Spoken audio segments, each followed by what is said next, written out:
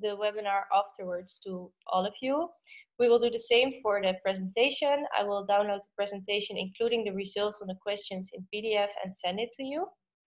Um, and if you have if you have questions that that that come up during the presentation of the experts, or maybe already before, or during the panel discussion that we will have, please ask them on Menti, and we will use them during the discussion. Um, you, because also during the presentation, your microphones and video are, are muted, and we will advise you to turn off your camera. Um, but to still make it a little bit interactive, we would really like you to ask your questions in a Mentimeter and actively participate. Um, and thank you, Liv, for uh, sharing the Menti code in the chat. So it's in the chat. So uh, just a very, very short recap on the first webinar. We did the first webinar now approximately one month ago.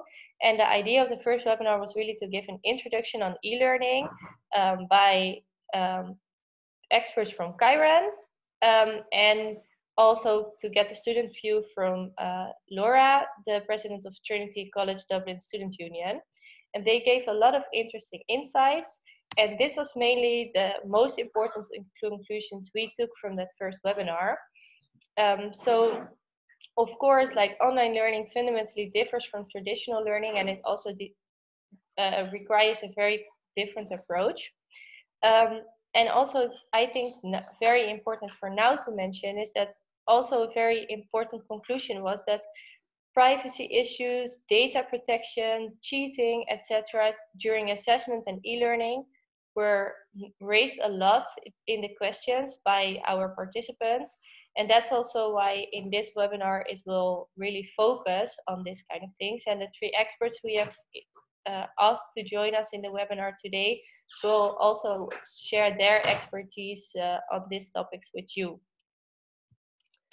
Um, so that brings me to today's webinar.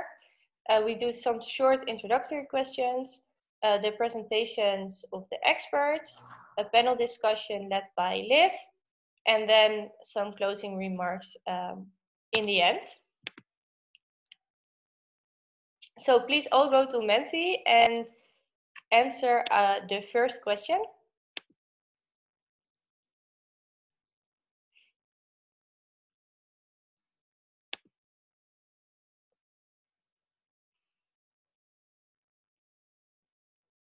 So quite some people that already Eh, took online and online assessments.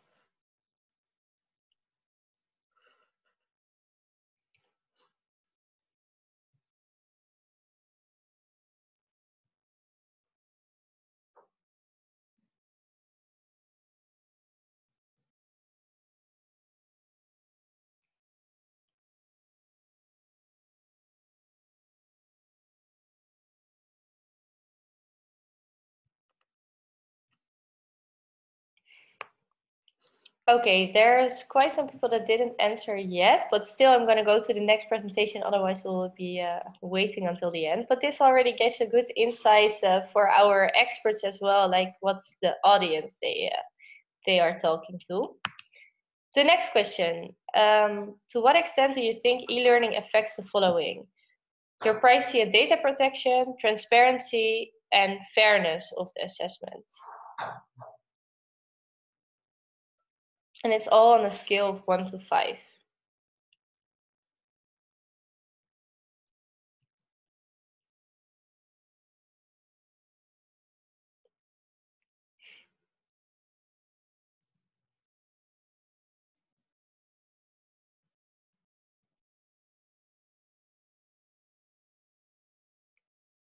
So, so far, especially concerns about the transparency.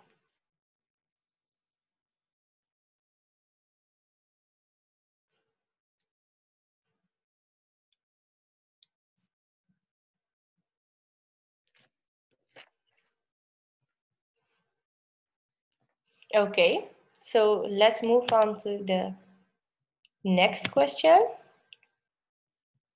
There's still some people answering, but still uh, transparency uh, is uh, the most affected according to you.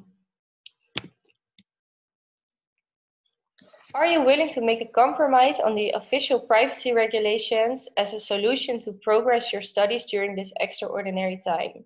It took us quite a while to come up with this question, but we thought it was highly relevant, especially after our preparatory meeting with our experts to ask something like, but given the current situation, are you willing to compromise on the official privacy regulations at this time?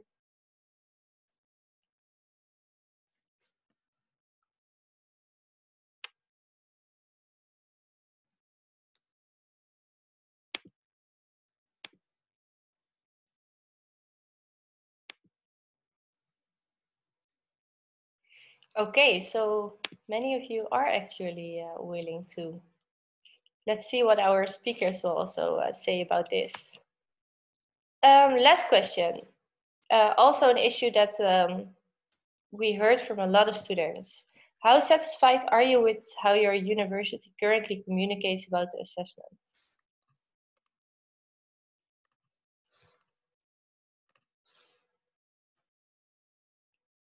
It started very positive, but uh,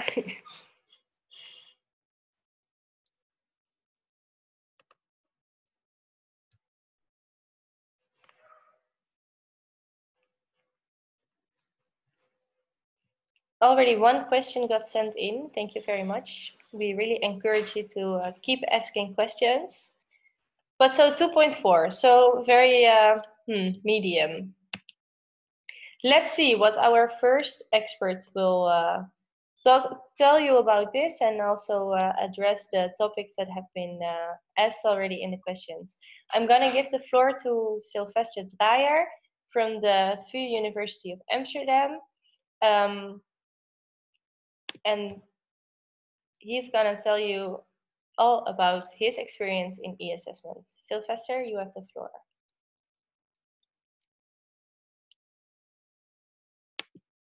I will unmute myself, yes.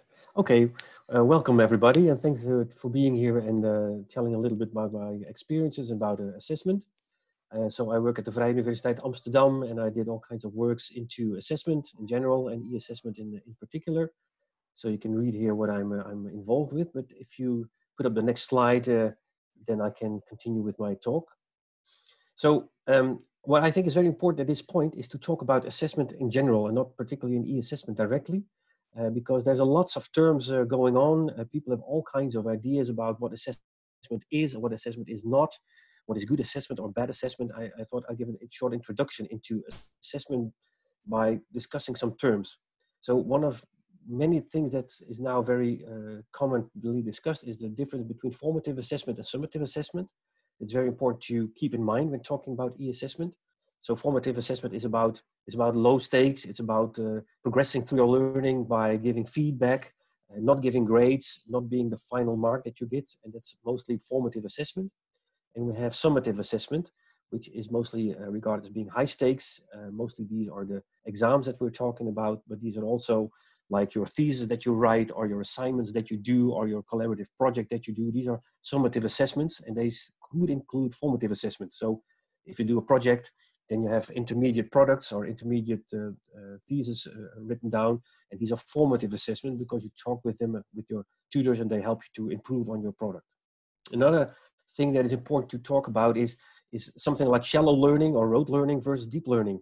Uh, there's uh, always an, an, ongoing discussion that, that in higher education, uh, lots of learning is actually shallow learning or rote learning, and we need to move into deep learning. And I want to give a little bit of nuances in this discussion because deep learning by definition is, is, not by, is not by definition projects or essays or problem-based learning or interactive learning. Uh, that, is, that is, in my opinion, only the application of some cognitive or social knowledge and skill to uh, extend in a, the prolonged terms of time. And that's not necessarily deep learning. If I talk about deep learning, it's also involving mastering factual or conceptual knowledge and uh, getting some kind of automation in, in working with all these very complicated cognitive uh, concepts. So if you think about uh, just learning to read or to write in your primary school, these are very basic and also complex factual or knowledgeable or relational and uh, procedural knowledge that you have to acquire, which is very difficult. And that is deep learning, uh, mostly regarded in education. So it's not by definition uh, projects or essays. And in, in higher education, it's also being trained and being able to solve really high cognition demanding problems on, on the time limits. Uh, if you think about mathematics or mechanics or biology or chemistry, you have to do just very complicated stuff with, with your mind. So that's one of the things I want to put forward first. And then if we go to the second slide or the next slide, uh, the other thing that's very important in higher education is thinking about programmatic assessment. So what each educational program tries to do is to think through their whole bachelor master program and see, well, what kind and forms of, of assessment should we distribute amongst our uh, learning um, courses and what kind of uh, exams should it be or what kind of assignments. And it, it, it's, a, it's a timely mix of formative assessment, of summative assessments in many forms like quizzes or assignments or projects or essays. And every educational program up to now has already thought about this idea quite a lot. And they said, well, the, the program and the assessment that we have put in place is optimal for this kind of training. So uh, that's what I would like to keep in mind when talking about our Corona time, in which the context has changed a lot, and we have to work within this context of already having thought out good programs that have to be changed now. So if we go to the next slide. Um, and another important thing is when we talk about, say, summative assessment, there is always four general important criteria that can be affected when you do it with the assessment. So I run through them very briefly and quickly. So the first uh, criteria is that uh, assessment should be valid. You should measure what you want to measure. And it sounds very, uh, very uh, straightforward, but it can be quite complex actually. They also should be reliable. Uh, so what you want is that, that the assessment measures your achievement in a very precise way. So if you do your take your exam on day one and you take the next the, the same exam on day two and your scores will be very different, then you have a very unreliable exam actually or a very unreliable assessment. That is what reliability means in psychometric educational terms. Further, it should be transparent. It must be very clear for students what to expect from an assessment, how you should prepare, yourself, how it is conducted, how it is judged or evaluated. That is very important. That's called transparency, actually. And it should also be, that's the fourth one, it should be executable uh, or feasible. Given time constraints and money constraints and all kinds of other constraints, it should be able to execute uh, a, a, sort of exam. So these are very important to keep in mind. So if you go to the next slide, uh, e-assessment uh, can have an effect on these four main criteria and, and the other things. So uh, it's a very broad term to start with, and I think Rumi will go more in, into deep depth in this, but uh, pencil and paper examinations are already a form of technology enhanced assessment, in fact, because paper is a technological thing. Um, also reading answers from scratch cards, if you have like multiple choice questions, which you have to scribble on these cards, is also a form of e-assessment or technology enhancement assessment. And if you go all the way to the outer sides of this scale, then you would say, well, the involvement of all kinds of devices and software and additional equipment is something with to do with technology enhanced assessment. So it's a very broad term. That's what actually what I want to uh, emphasize in this slide. So if you move forward to the next slide, we would say, well, when we put in e-assessment, there is effects on some forms of assessment on these four criteria. So um, with, in terms of validity, uh, with technology enhanced assessment, it's, it's able to do more real life or close to the intended learning goals uh, assessment. Uh, so you could do, say, uh, questioning instead of multiple choice questioning, for example, or you could have users, students let use uh, let them use SPSS when they do an exam, which they should be able to work with or they should be able to collaborate or involve virtual patients. So that's an effect of e-assessment on validity. Uh, the effect on reliability is that some forms of assessments get higher reliability. Uh, there is all kinds of psychometric uh, models and techniques to have more precise measurement of actual uh, achievement of uh, students. Uh, that's also in e-assessment, and that's a real big field in e-assessment.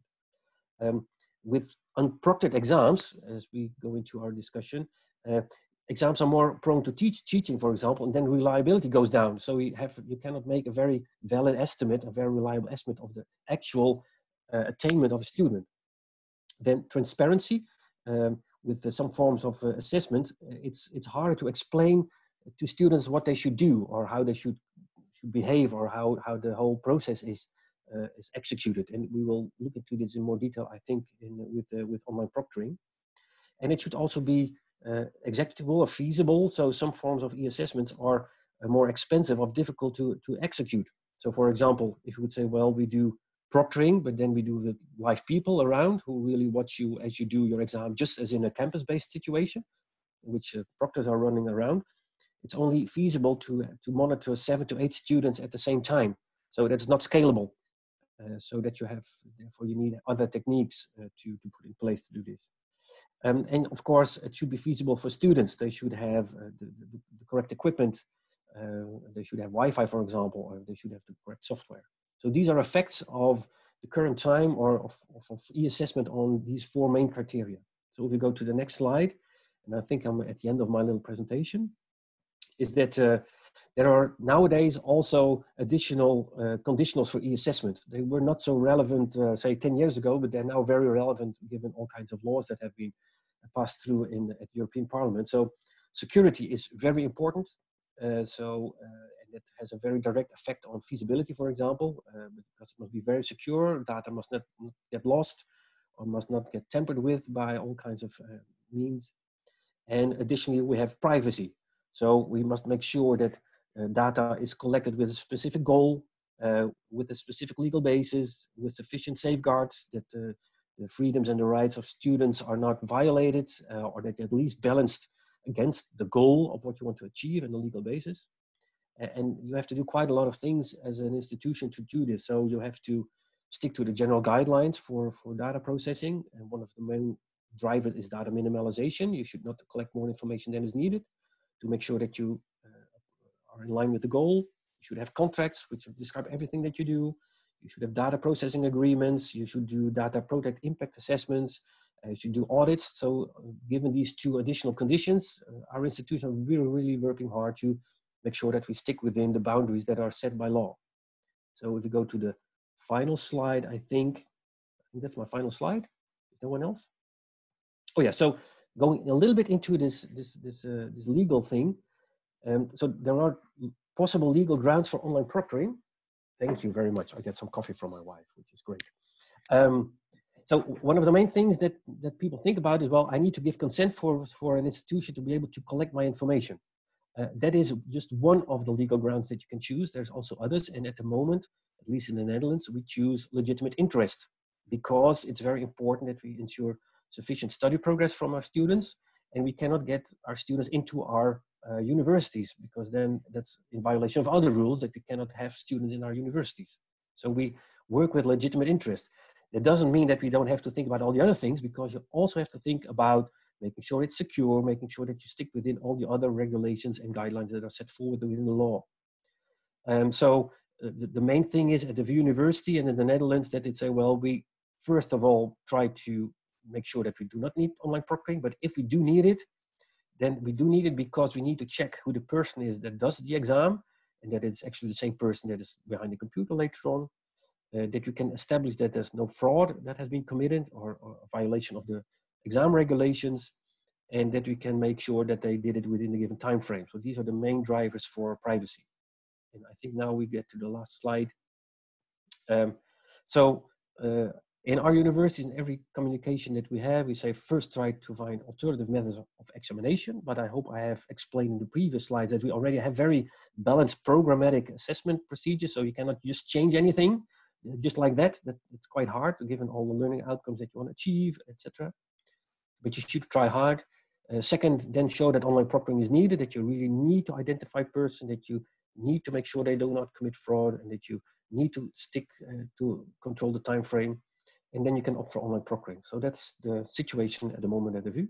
And I think now I'm ready with my story. Thank you. Thank you so much.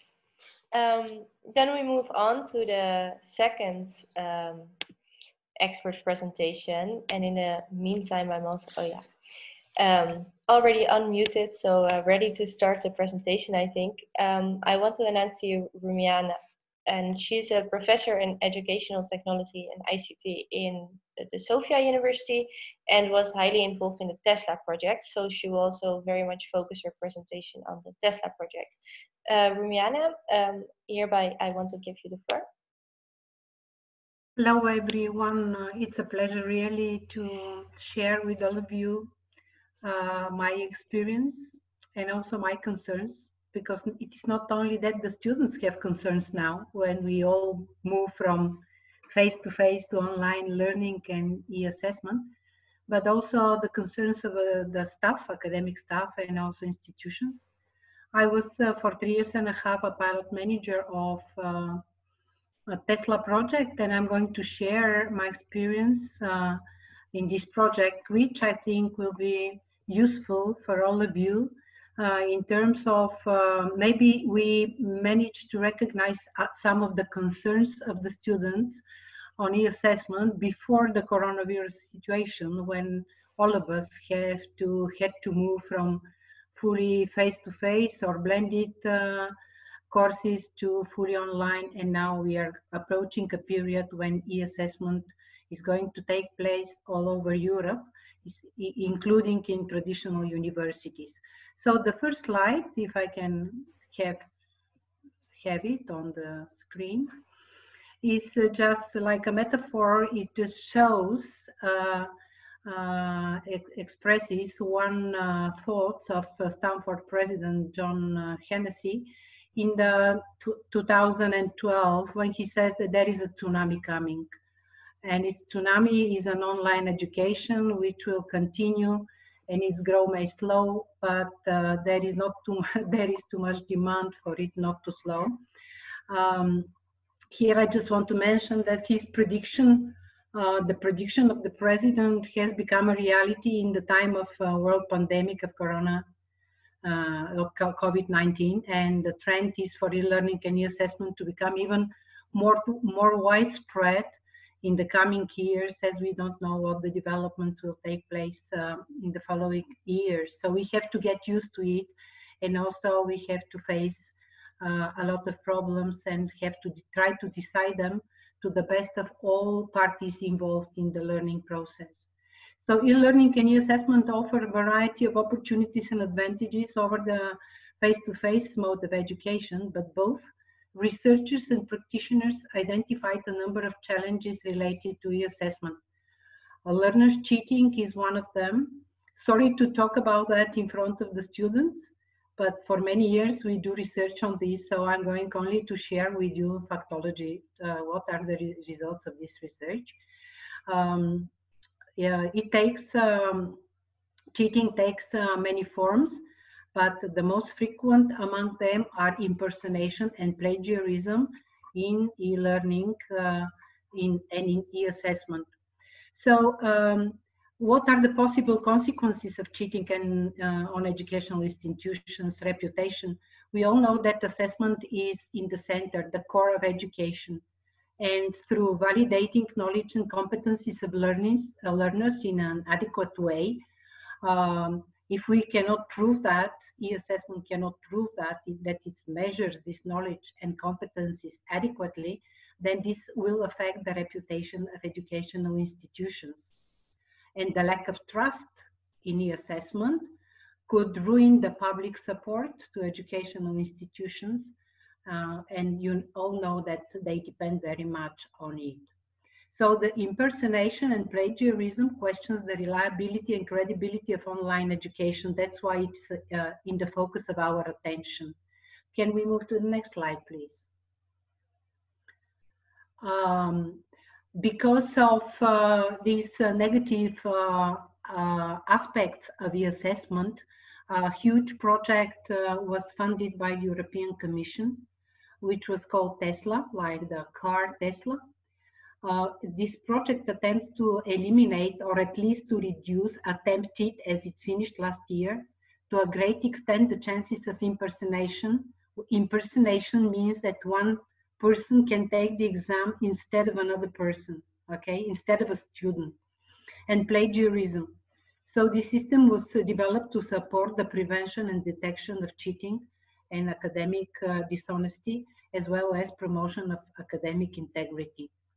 On the next slide, we can see uh, just some data on the project, which is Horizon 2020. You can see the budget, but we are going to move to the next slide. These are just data about the project. It's Innovation Action Project. And the key objectives of Tesla was to define and develop a software system, which we did, to ensure learners' authentication and authorship by integrating in uh, this platform uh, several instruments for students' authentication and, anti and authorship in order for the, this system to uh, be able to provide um, unambiguous proof for learners' academic progression, authorship, and authentication. On the next slide, uh, we can see which were the instruments integrated in TESLA. Two types of instruments, biometric instruments, which collect biometric data from students, face recognition, voice recognition, keystroke dynamics, and text analysis, two types, forensic analysis and plagiarism detection. Okay. So in order for students to be involved in uh, these processes and to use TESLA, they were supposed to sign an informed consent. This is uh, absolutely obligatory. Uh, so they uh, agree to um, provide their personal data. Then they enroll in TESLA depending on the instrument. So they, they uh, either provide face recognition, take, the system takes some pictures or video files or their voice recognition or keystroke stroke dynamics.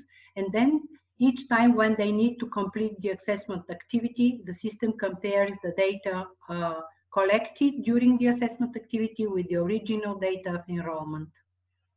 So we can go further. Uh, this uh, just um, shows how many students, over three pilots in Europe took part in the pilots.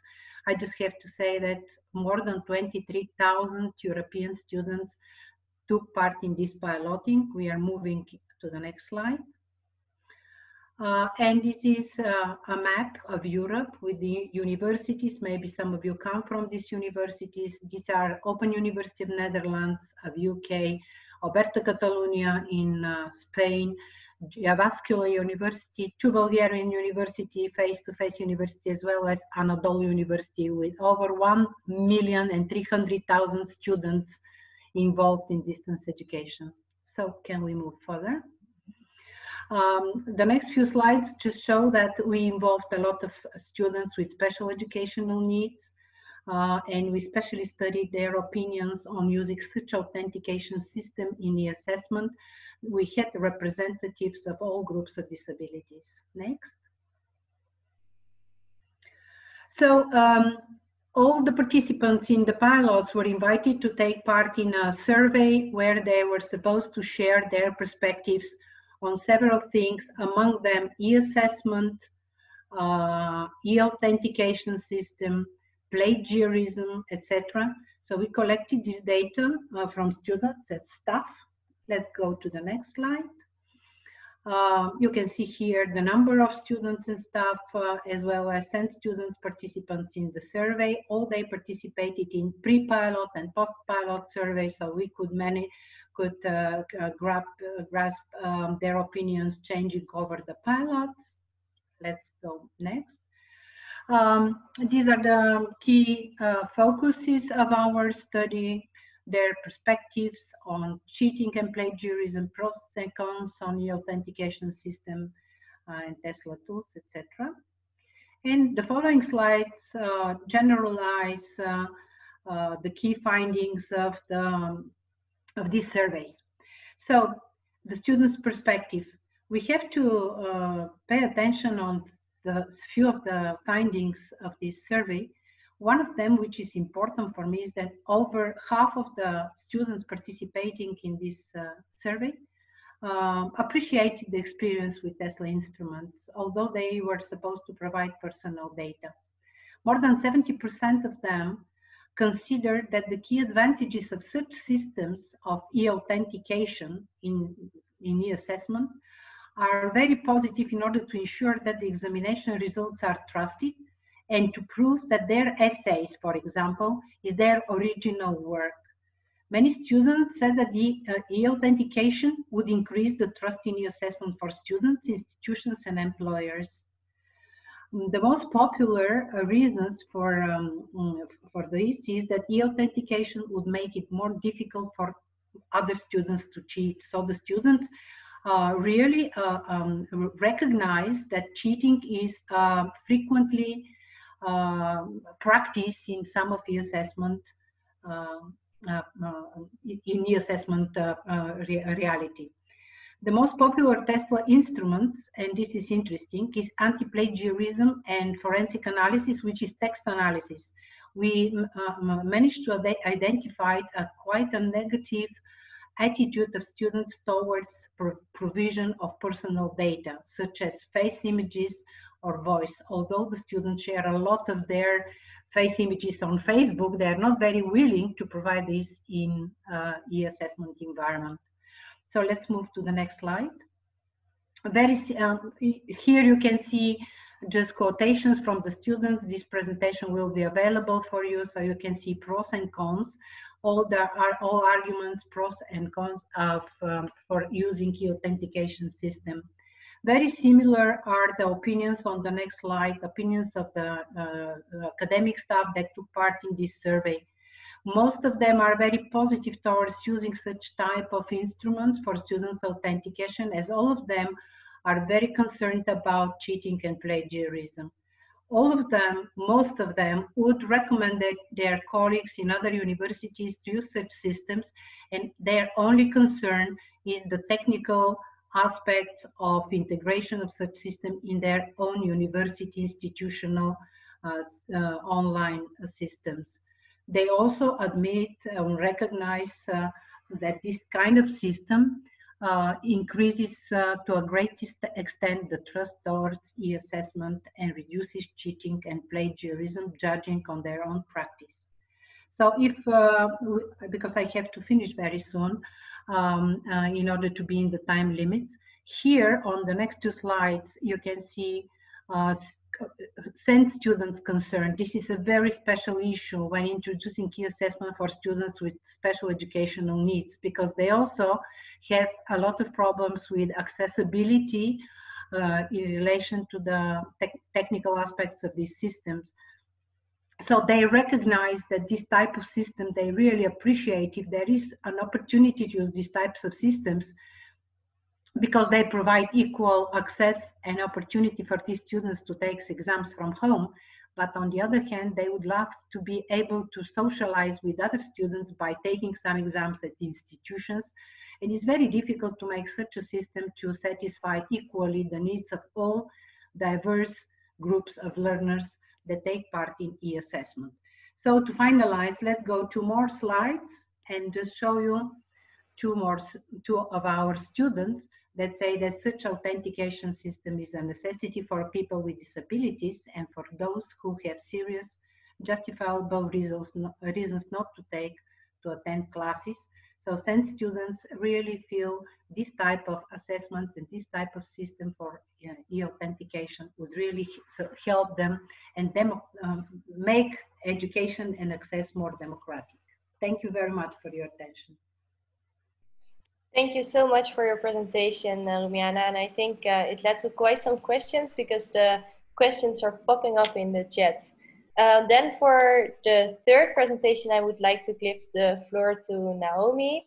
She's a student from the University of Tilburg. Um, and I approached her to take part in this webinar because she start, uh, recently started a petition that is uh, raising the issue of privacy and data protection with the method that the, her university choose for online assessment. So Naomi, you have the floor.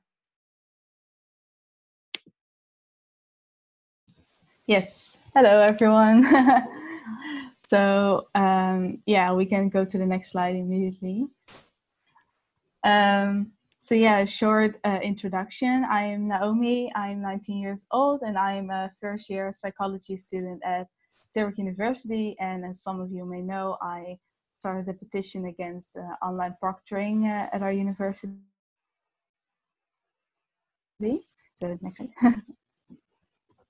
so yeah, basically the road that led to the petition, um, our university started um, by telling us about uh, their their yeah that they wanted to implement online proctoring. Um, in their first email that they sent that was like a few weeks ago uh, they expressed their doubt about implement uh, which exam method to implement, either proctoring or an alternative, um, then uh, a kind of debate started in our study group on WhatsApp, like with multiple concerns, of course, but it was still a bit superficial. It was uh, not yet secure or really known what the university was going to do. So we were just going to let it slide.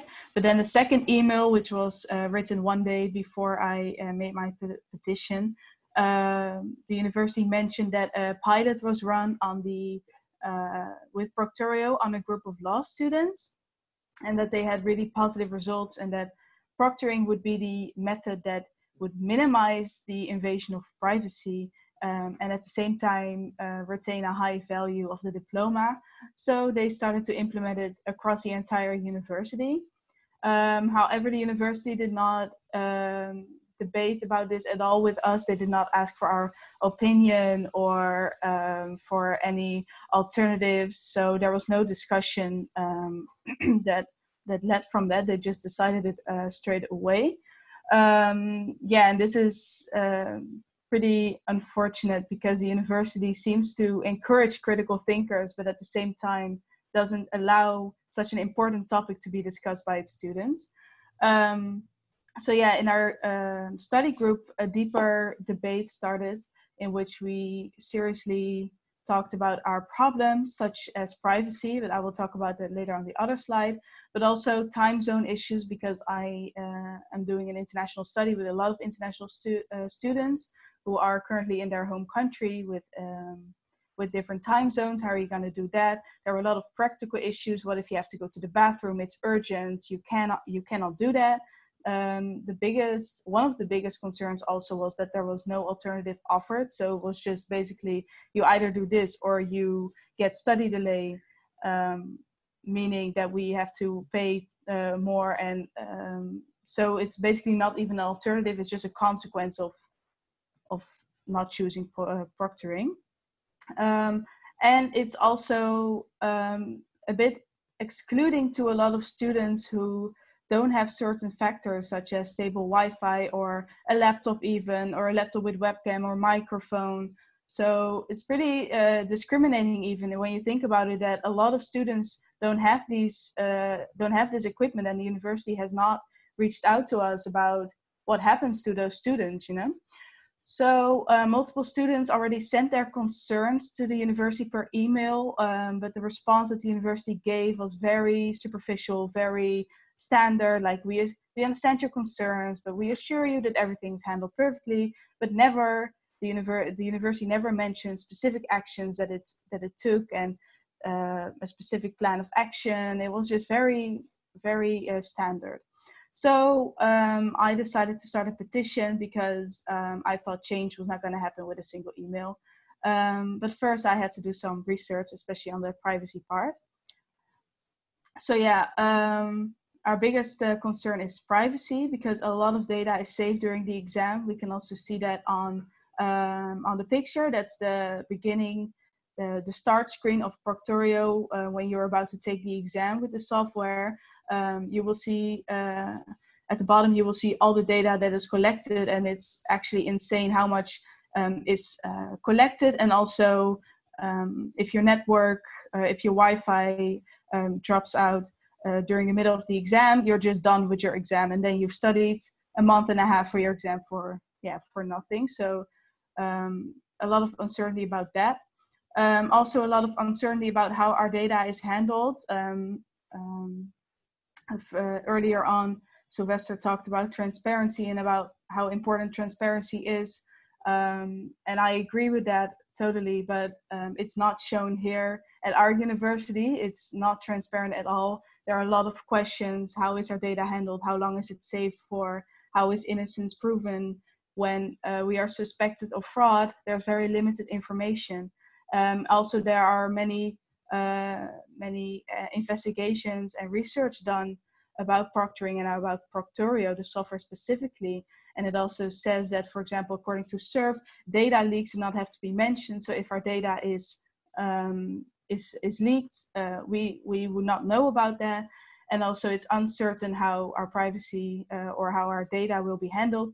Will it go to the Netherlands? Will it stay in the Netherlands, or will it go to the United States? Because Proctorio is an American uh, company. So, and in the United States, there are, there are other privacy laws um, than in the Netherlands. So then you have that problem.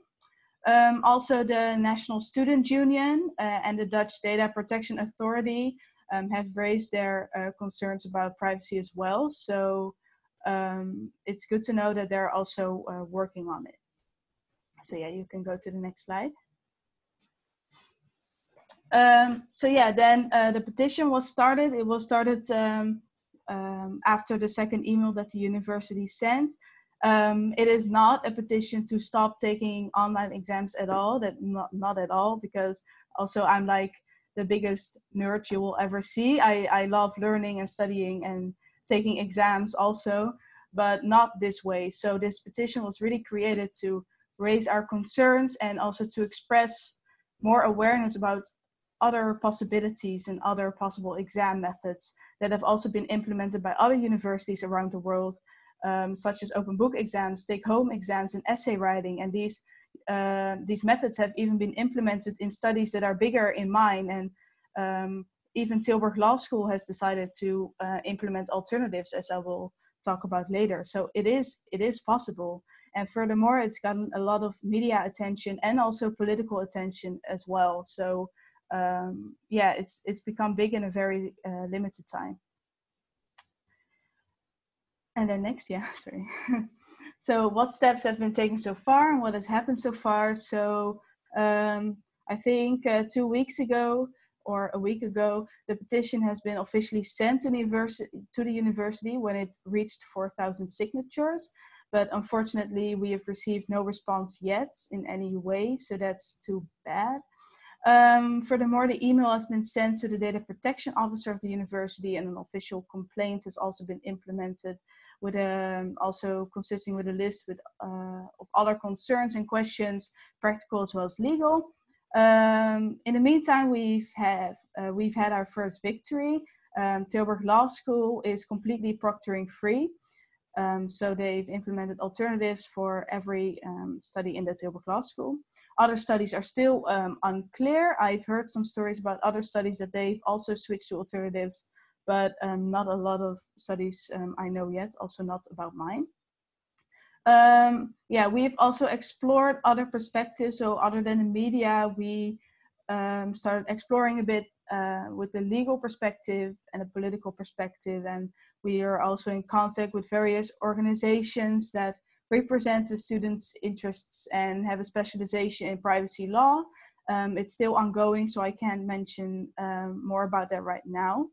Um, yeah, so um, last week we received an update by the university that um, they still want to implement Proctorio when it's absolutely necessary, but the update was very similar to the one before. Um, the only thing that's extra mentioned is that uh, it's decided per faculty and an opt-out is offered for those that do not want to participate in proctoring exams. So an alternative is offered and that's a great improvement. Um, until until now, it's still unclear uh, in what way we will have exams. I've uh, sent the uh, university an email yesterday, but I've received no response yet. Um, and a lot of new petitions around the world have actually been started, and I think I might have been an inspiration in that, but of course I'm not sure. But I've also been uh, receiving a lot of messages from students around the world who have started their own petition. So that's great to see that students are standing up for themselves. I think that was my last slide. Yeah, thank you. Thank you so much, Naomi. Yeah, and I wanted to say, Liv, um, the floor is yours. Yeah, thank you. First of all, thank you so much for all your valuable input and all the different perspectives that you already covered in your input presentation. Now we are switching um, to a small panel discussion in the rest of this uh, webinar. So all the participants of this webinar are now encouraged to um, still post questions on Menti so I can take them into account. Uh, when doing the panel discussion, Nina will also open them so you can all also see the questions of the others and also up and down vote them. So I know which kind of questions you are interested in. Um, I would like to start with uh, one topic that I heard about across all of your presentations, which is the the topic of communication. So how important communication is between universities, between students and staff to make e-learning and e uh, assessment possible and um, valid and reliable. So from Naomi's presentation, I already heard that one of your major concerns was that there was no communication, that your point of view wasn't taken into account, and that there was also no alternative offer. So I would like to ask one question to Silvester. So as um, from your perspective or from your experience, which role does communication between all the different stakeholders in e-assessment play and make it work and make it functional? Uh, the first thing I would like to emphasize is that it's it's a really a very very complicated uh, operation to get a system that you haven't had in your university up and running within a matter of weeks. Um, so you have to work with teachers, you have to work with support, you have to work with students, you have to work with uh, official student bodies like the, the student council, the faculty councils, you have to work with the exam boards, you have to work with the technicians. So it's a really, really complex project to get something going like this at the scale that we're now facing. So that's, that's phase one. So in my project that we do, I do only communication. My whole day is full with all kinds of meetings with all these kinds of bodies to make sure that everybody knows where we're heading, how we should take care of this, and what, not, what needs to be done. That doesn't mean that we reach our students in a very satisfactory way. So the first line of communication that we have in our university and most universities is through the official student bodies. Uh, we have official lines of communications with them through our uh, the boards of, uh, of governors of our universities. So we communicate with them quite a lot. And we often can only communicate why to our student population when we have made sure that we're in line with our uh, the medezeggenschapsraad. I'm not quite sure the Dutch uh, the English word for it is. Uh, so there's there's always a lag in communicating to the wider student audience about your, what you're really doing. So indeed, it is very important, but it's also very complex because of all these parties that are involved. But I can imagine that for the regular student, like Naomi, for example, it seems like there's no communication maybe at all. Uh, so that's what I can say at this moment to, to, to add to this, to illustrate this, we're, we're bringing up uh, a new website for our university uh, tomorrow. And so we, we, collected around about 50 uh, frequently asked questions. And they have all to deal with all these kinds of little things that people might want to know about this whole online proctoring process. And it's just because it's very, very new that there's not a sort of uh, cultural perspective on how these things run, as is the case in campus-based um, education. So we students don't ask themselves, well, what do these uh, proctors actually do in our campus-based university? Uh, but now we go to a situation with technology, then at a certain point say, well, well, what do these people actually do? Do they do a good job? And do they don't talk about what they see on the video with, with people just around the corner? Uh, whilst in the campus-based situations, they could also do this, but then we don't ask questions about it. So yes, communication is very important, but also very complicated. Thank you very much. Um, I also wanted to um, continue with this kind of topic of communication to you, Naomi. So in the last slide, so what you already reached you with your peti um, petition was that you could introduce alternative formats for students who really um, don't want to participate in e-assessment. And this is like in line with one of the questions that a participant raised about um, equity and also discrimination against students that might not want to pay, uh, take part in uh, e-assessment. So which kind of reactions from students did you already get for the success of your petition? Uh, I've received a lot of support actually. Um, also, students are really happy that there is now an opt-out, even though we don't know the specifics yet. Um, it's still good to know that the university is thinking about those who don't want to uh, take, yeah, take um, or what do you say, engage in uh, online proctoring. Um, it's also very uh, motivating to see that um, other faculties of the university are slowly switching to alternatives, so that gives them hope as well. So uh, let's just hope that our faculty also comes up with something soon, because even though they are hopeful, they are still a bit um, scared, even because the university has not, uh, yeah, has not emailed us about anything yet. So yeah, it's a bit double. It's the email again. Yeah, right. Still on the communication. yeah, yeah. A more technical question that was uh, upvoted by the participant is now visible on the screen, and I would like to um, ask this question to Rumiana. So the question is, if facial recognition seems to be the most intrusive type of proctoring, and it could be affected by skin color, headscarf, etc., Um, if you could say something about this, how could this be uh, taken into account in the forensic analysis? Mm, okay, let me see if I, ah, okay, uh, yes, uh, face recognition uh, or facial recognition uh, software uh, requires a lot of taking a lot of pictures, series of pictures in order to make sure that different changes, this is one of the students' concerns, that if they put glasses or they change their hair, uh, etc., this can affect uh, uh, the comparison between uh, uh, Uh, facial, facial recognition uh, performed in one exam to the previous uh, pictures. But the system works in a way that uh, it compares the pictures and in case there is any doubt that the student who took the exam is the same student, then they send a record of this series of pictures to the teacher and the teacher can judge uh, on whether this is the same person or not. So it's not the system that uh, can say whether it's cheating or not. Um, uh, facial recognition is uh, very intrusive because it appears that the students don't like providing this type of data for, for their personal reasons. What is um, forensic analysis about? This is a software developed by a Mexican company.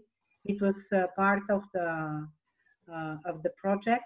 In fact, they do linguistic analysis, uh, do analysis of the style of writing of the particular student. Uh, this is type of technology that is um, uh, now very much under development. Uh, so it's more like qualitative analysis of the style of typing. Uh, that's why this, this instrument is between biometric data and text analysis data. I hope this type of um, uh, software will um, be much more widely uh, used in the future when it is uh, further developed. Uh, but at the moment, uh, the students find typing, typing text, uh, sending essays um, much less intrusive than providing data like voice and, and face. But Can I fact, add something to this maybe? Yeah. Um, I want to emphasize what Rumi says that if we put in systems like this in place, it's never a computer who decides that students commit fraud or something. There's also very strict regulations, at least in universities in the Netherlands, that there's always human intervention uh, in, in legal terms. So that's really live uh, surveillance at the university who do the regular surveillance also in our campus-based situation, who actually do interpretation of images. The computer only helps a little bit to to support them and do their work effectively and, and, and fast. So there's never a, a decision made by the computer. And if we talk about facial recognition, which is very important, the system that, we, that we use, and, and Tilburg also, I know, they don't actually know who is behind the computer. They only know that there is a person uh, conducting in some kind of way in which they, they, they, look at eyes and the nose and the mouth or something to know where, where this person is. So for example, if you want the computer to know whether the student is still behind the computer, then, then it needs these little points to see, well, is there something in view or not? and then it only flags to say, well, the, the person, I don't know who the person is, the computer says, but the person that I'm now trying to follow is not behind the computer. And of course, to prevent cheating, it's very important that you know that students don't run off and get, get their answers some, somewhere. And then it's still up to the surveillance to, to really estimate, well, what's going on there actually. So we know the person left the, the camera, but maybe something happened, uh, a door slammed shut because of the wind and he closed it again. And then the surveillance can say, oh, nothing, nothing wrong. We can just continue as usual. So it's actually what I really want to emphasize. Computer doesn't decide anything. It's just a, just a help. Yeah, sure. Can I add just something to address one of the issues of privacy and data protection? We know that students are very much worried about that. Mm-hmm. Uh, and also we know that it is not a matter of, it's not possible for a month or two to arrange the data protection agreement between universities and pr- providers of this uh, authentication software solutions. So uh, the, the, it's a matter of transparency, yes. The policy of the university and their decision should be transparent in order for students to be sure that their, their personal data is, is uh, going to be processed in a secure way but I, I wouldn't believe that any university, European university, would not check from the legal point of view how this data is going to be processed and uh, uh, saved uh, and used in the future. Yeah. So yeah. Maybe, maybe I can add to this. In in the, in the Netherlands situation, we do not go into work with with the companies if we don't have signed a data protection agreement which is exactly described how they store their data where it is stored how they secure it who has access to it. So that's that's everything we do and that's possible within a time frame that we're working now in to, to do this actually and, and we do this otherwise we couldn't do it. So i, I really want to emphasize that we really do this at our universities. Yeah the legal authorities would not uh, allow this system to be put in place in if you don't have these agreements. Yeah sure and one last thing um, and it's my just to add to what Na, some of them naomi concerns and also suggestions yes, of course, the students should have an alternative. They should be able to take the exam from home if they wish under certain circumstances, and they are introduced to these circumstances in advance. Um, and also, some of the students may choose to uh, go to the university and take the exam face to face. But we shouldn't encourage students uh, to use e-assessment because this really allows for much more flexibility. You should know that there are students that have and want to work and to study from home and they want to take exams from home. So uh, unfortunately these issues were very well known among students from distance uh, universities and uh, blended universities and now they become clear for other students face to face but this is just a current situation this an emergency situation. And we universities we have to uh, uh, finish to allow students to finish successfully their studies this semester. And we cannot organize signing data sharing agreement in frame of one or two weeks. So we are also on your side but we try to provide you opportunities for you to graduate to take your exams. So we have to be more mm, uh, to be able to make compromises because of the situation of course in the future uh, the things will change uh, more smoothly, uh, both both in the direction of e-learning, e-assessment, and yeah. universities will go back to face to face. Who wants? But now we have to resolve this, and our yeah. students want to graduate. I, I want to emphasize that we do not compromise. Actually, to, to be really honest, we do not compromise. Uh, so what we try to make sure is that students can progress through their studies as smoothly as possible. We take every precaution that is required by law to make sure that your data is protected really, really very good. Um, and we simply cannot have groups of students come into our universities because there's other regulations say, well, you cannot do this. Um, and there's also always the option for a student not to take part in, in, in, a, in an exam, of course. Um, but given the situation as it is now, it's up to the student to decide to do so. Yeah, so um, I would like to give the floor also to Naomi, as you already gave your two perspectives. Mm-hmm. So, uh, Naomi, tell me a little bit more about how you see these issues from your student perspective point, and also maybe mention the alternatives that your university also offered you right now after your petition. Yeah, so um, I understand, and like all of the students understand that it's of course a really big uh, issue, and that all of you are working really hard on it um, behind the scenes. But um, i feel like it wouldn't be that much uh, extra effort to just send a short email once in a while to us students with an update of what's going on you know because we are just here sitting day after day like when are we going to mm-hmm. hear something when are we going to hear something? And you know and that's that's the transparency part that you're talking about. Um, it's so important that that you don't hold information about us that could also be valuable to us you know? And also i understand that it's uh, it's really a short time limited period but then i'm also asking myself how did other universities then manage to do it and how did other universities with even a, a greater amount of students than the studies that we're talking about how did they manage to do it? So i would be i would be really interested in like you know is the university maybe in contact with the other universities? Are they discussing with each other? What's going on? So those are like yeah questions that that arise in me. Okay as we are running quite uh, quite short on on the time of this webinar I would like to use the last uh, minutes to sum a little bit up what we discussed in this webinar, what you gave us as uh, input from your presentation, and also what are the main outcomes of this uh, last panel discussion. So what I learned from your presentation that the concerns are not only on the student side, but they are also concerns from the staff side, from the university side, from the administration side.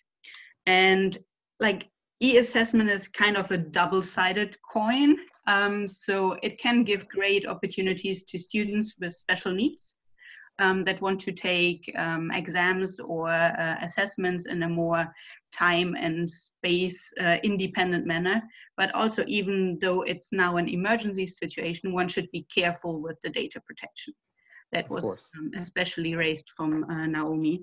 And in all of this um, e-assessment discussion, one of the major points is communication that I heard from you, that transparency can help a lot both for students and for staff to understand the situation, uh, where are you right now and where is this part of e-assessment going.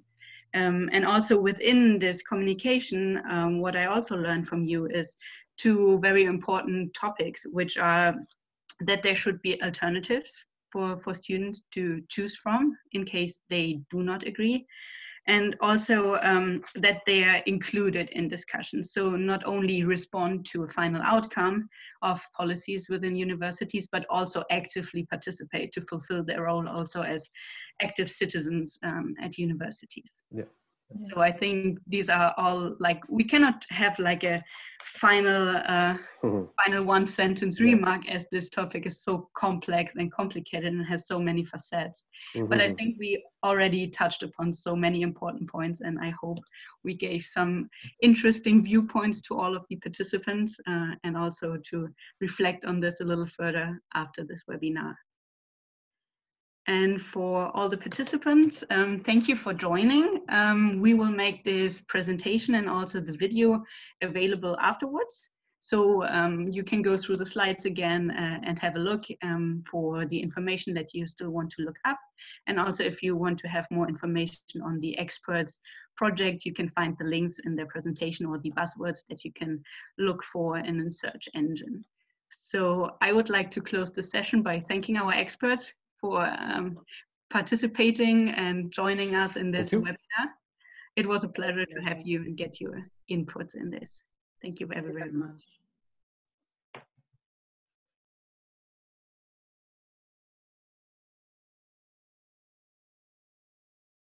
And then one thing to add um, is that the next webinar will be on the 19th of May, uh, same time, 2 p.m. CET and it will focus on the quality assurance of online learning. And we hope to uh, see you all there.